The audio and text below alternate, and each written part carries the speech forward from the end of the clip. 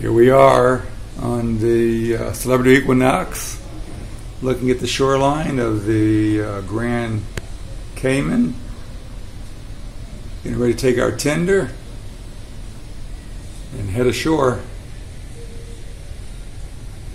A out this way is open ocean. You can see how flat it is, which is nice for a change.